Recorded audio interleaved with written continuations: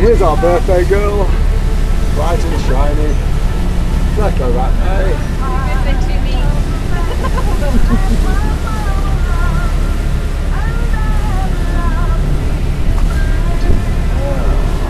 go take for a little walk. Look out! we're just going to go and have a look at the uh,